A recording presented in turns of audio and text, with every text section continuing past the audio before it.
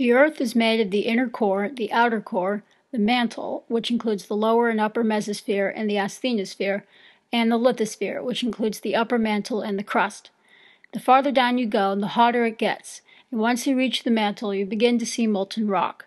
The core is made of dense iron, and its temperature can reach 4,300 degrees Celsius, 7,772 degrees Fahrenheit.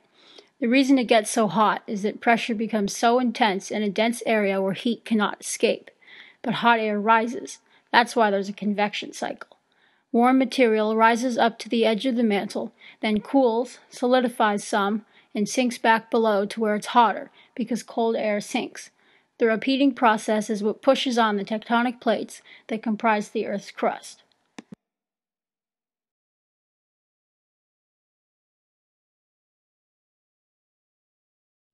Tectonic plates. Convergent boundaries are where two plates are colliding.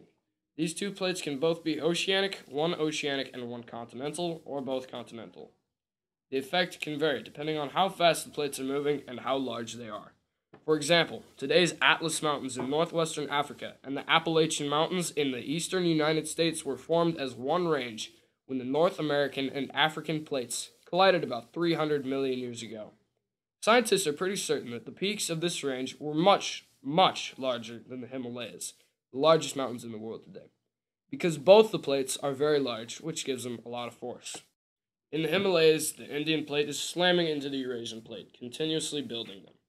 Now, the Eurasian plate is very large, but the Indian plate is nowhere near as large as either the North American or African plate, so the force of the former collision is smaller than that of the latter. Convergent boundaries can also cause volcanoes by creating a subduction zone. A subduction zone is where the oceanic plate and a continental plate are coming together. But since the oceanic plate is much denser, it dives underneath the continental plate.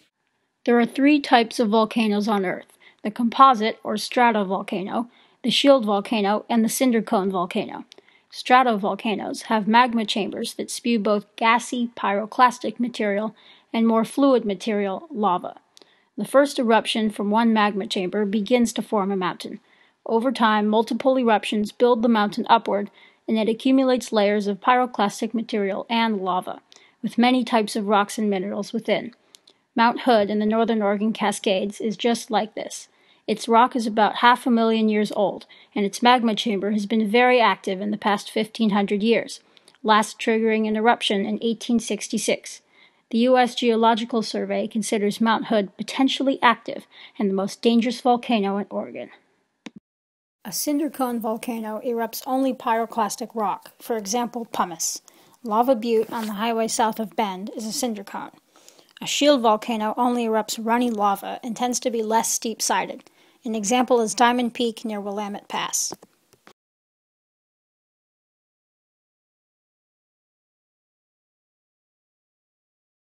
Weathering and erosion.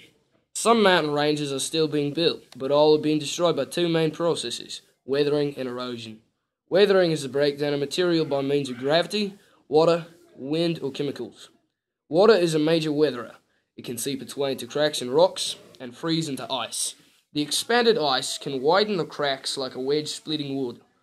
Another way water weathers rocks is by carrying sand and other rock particles over a larger rock surface slowly breaking off tiny pieces of the big rock. Even just pure water can eventually break off rock and wash it away. Erosion. The other force destroying mountain ranges is the movement of natural material. Gravity is a very common type of erosion. Let's say a small rock at the top of a cliff in Yosemite National Park receives a huge gust of wind that blows it over the cliff. This movement is erosion of the cliff. The rock was part of the cliff, but is now at the bottom of the canyon. Erosion isn't the destruction of material, it is the movement. Weathering takes care of the destruction.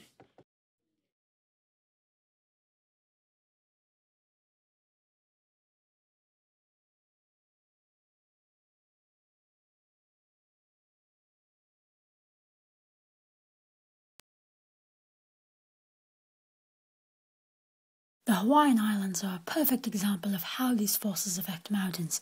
They are created by volcanic eruptions from the Hawaiian hotspot, thought to be a mantle plume in the asthenosphere, that feeds magma through the Pacific Plate. The plate with the islands on top of it has been moving roughly westward, where the hotspot remains in place.